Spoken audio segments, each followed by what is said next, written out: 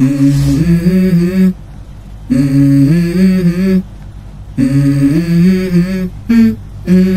go.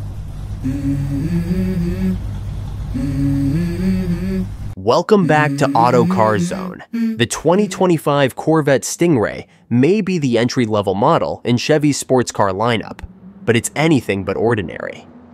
This high-performance vehicle is powered by a 6.2-liter V8 engine that delivers 490 horsepower, positioned right behind the cabin.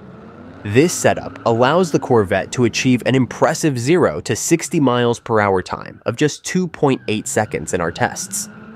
Although a manual transmission isn't available, the 8-speed automatic transmission does an excellent job of selecting gears and offers quick, satisfying shifts, especially when using the paddle shifters on the steering wheel. The handling is exceptional, offering a balanced and agile experience that encourages drivers to push harder through each corner. However, the Corvette isn't just about power and precision, it's also practical enough to be a daily driver. The cabin is comfortable, the ride is smooth, and the cargo space is generous for a sports car. If you opt for one of the top three LZ trims, you'll enjoy luxury features such as a Bose sound system, upgraded sport seats, a head-up display, and Nappa leather upholstery. What's truly remarkable is that the Corvette offers all of this, along with its exotic mid-engine design, at a fraction of the cost of a Ferrari, Lamborghini, or McLaren. Yet it still turns heads like those high-end rivals. For 2025, two new colors have been added to the Corvette's exterior palette. Competition Yellow Tint Coat, Metallic, and Hysteria Purple Metallic.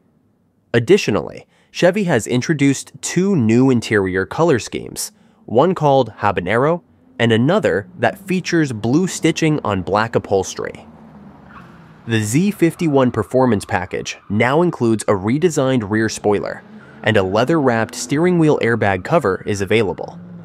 You can also opt for Velocity yellow brake calipers.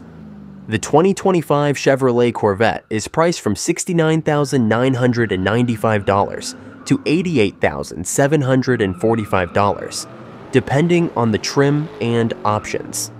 It's available in both coupe and convertible versions, with the latter featuring a folding hardtop. Since the coupe already has a removable roof for open air driving, we'd recommend sticking with it.